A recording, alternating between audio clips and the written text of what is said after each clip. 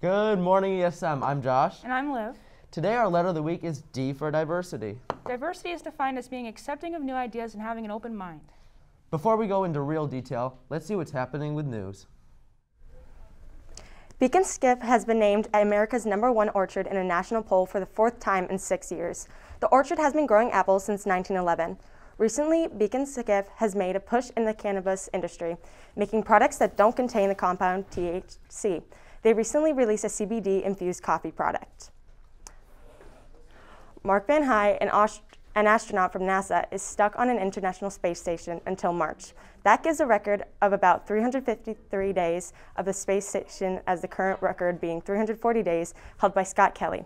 NASA announced the information after they had to delay a spacewalk due to medical issue. Please stand for the pledge.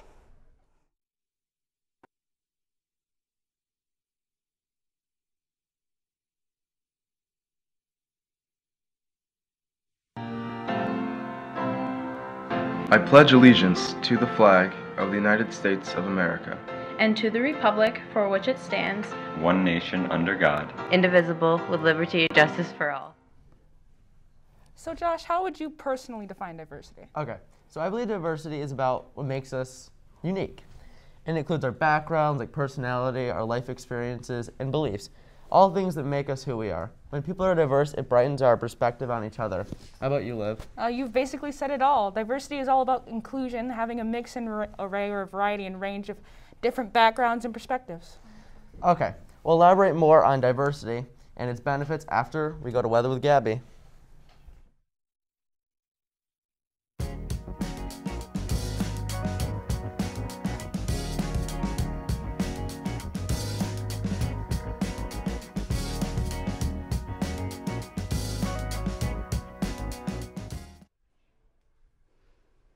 Today we'll have a high of 79 with mostly sunny skies.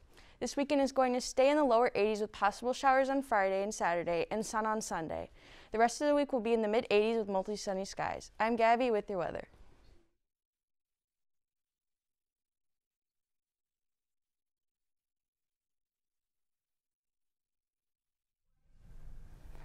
All right, so one of the many benefits of being diverse is it allows us to learn about new cultures and broaden our knowledge of the world around us.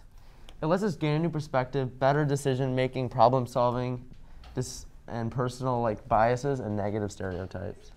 Uh, there's diversity in, in interests and hobbies, uh, like our wide variety of sports, which we'll be hearing about right now.